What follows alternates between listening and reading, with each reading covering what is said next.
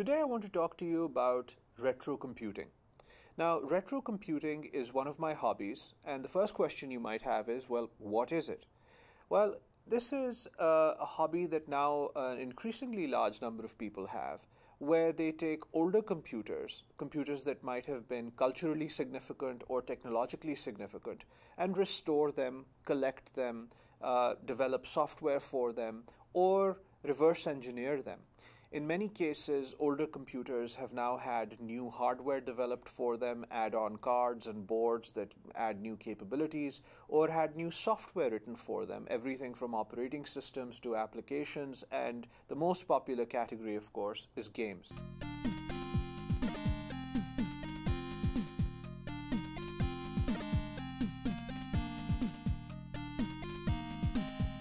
Now, you might wonder why would somebody involved in cutting edge technology in a field like artificial intelligence, which is all about the latest GPUs and the latest ASICs and TPUs and you know new algorithms that are coming out almost it seems like every week, uh, why would a person that uh, has built a career around these modern technologies be interested in retro computing? And the reason for this is that old computers open your eyes to how things really function on a first principles basis.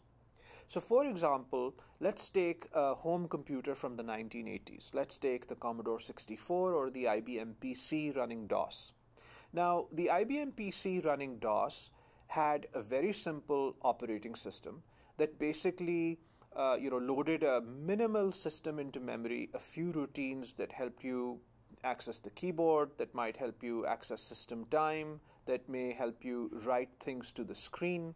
But pretty much that was about it, with some basic memory access. And the operating system didn't really implement much in the way of security, which is a big deal in today's operating systems. Now, that's an advantage because if you want to put a system on the internet today, you obviously want to have sophisticated identity management, authentication, and security, memory management, and all of these types of things. But older computers had none of this. And so the advantage that they have is that you are very close to the hardware when you're using something like an IBM PC running DOS. You have direct access to memory. You don't have any operating system elements uh, intruding. You don't have any special permissions to get.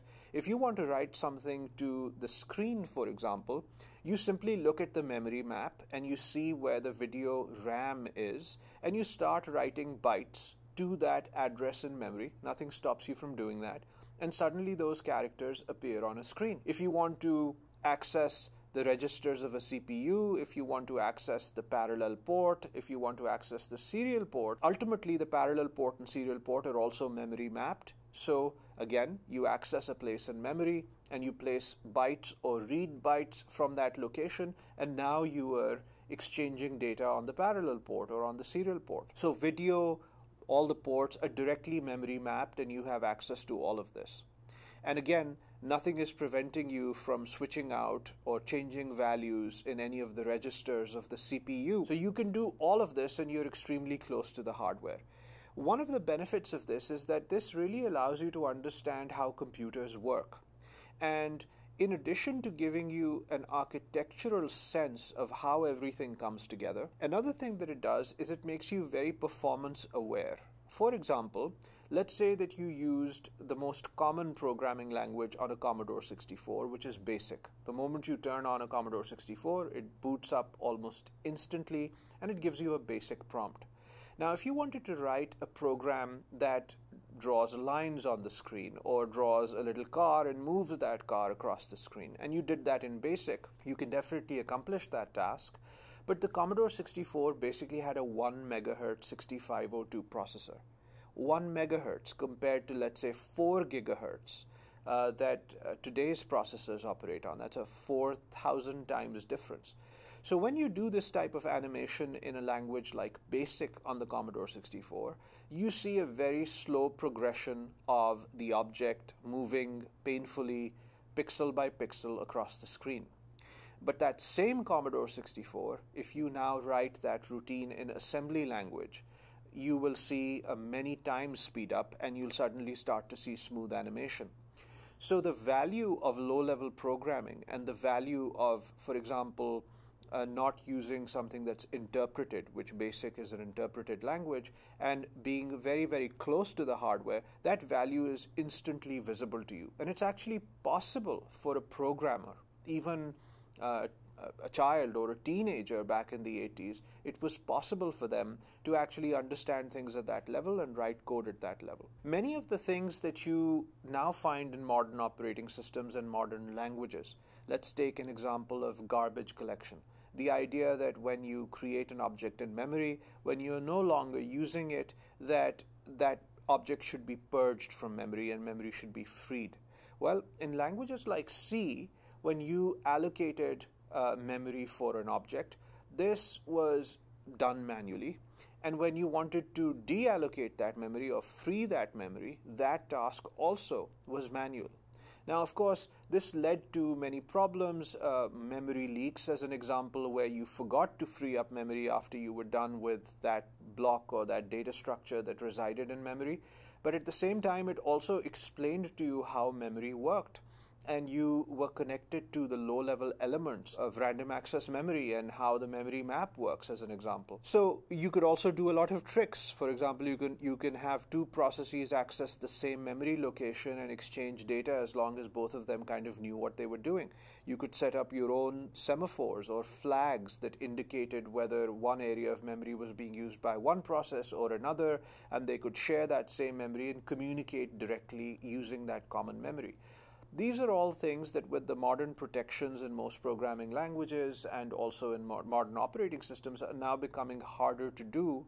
But in the earlier days of computing, this was all very commonplace and fostered an understanding at a basic architectural level that many programmers who have grown up with more modern technologies might lack. So, another benefit of retro computing, other than just simply reliving childhood memories and having fun with old games that you might have enjoyed growing up, is that it brings you back closer to the hardware. And the complexity of the overall system, both at the hardware level and at the software level, is such that you can, as one person, understand everything and you can really put things together at the system level as one individual containing all the ideas necessary in your mind and really developing a sense of how all of this works. Now, that becomes a great basis on which to then take these modern concepts, layer on these modern concepts, but really have a clear understanding of first principles. Another reason why retro computing is very interesting is because the the possibilities with low power hardware, slower hardware, were not fully understood when these systems initially came out.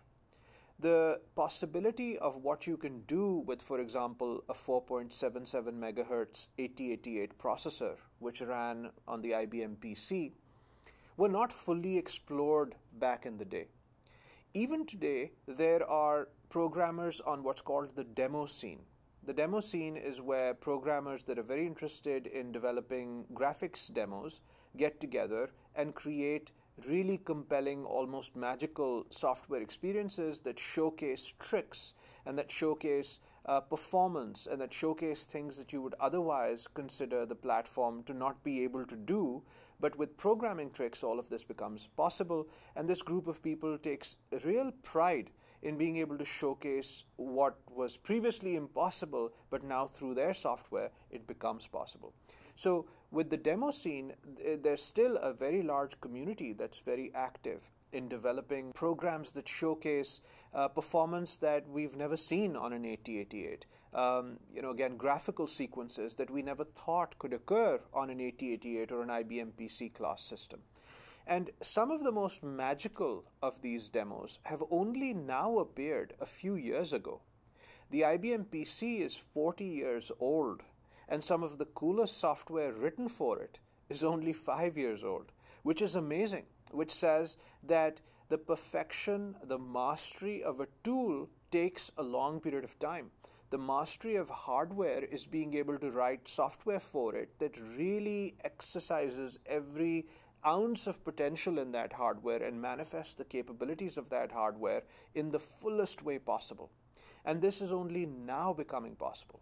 So, this idea of thinking of computer hardware as a tool, as an instrument that you take a long time to master, and in mastering it and having this artisanal, craftsman like approach to the hardware, what becomes possible? And if you take that approach now to more modern hardware, what could become possible? So, the other reason why I like uh, retro computing and why I take great joy in it is because, again, it brings the craftsmanship out. It makes you innovate under constraints. And that to me is real magic because nothing in life is unconstrained. The universe is not unconstrained, resources are not unconstrained. There are constraints that we live with at all times. And art, in, in some sense, is creativity under constraint. So, for me, retro computing bridges these two ideas innovation and creativity under constraint, and the practical mastery to realize that.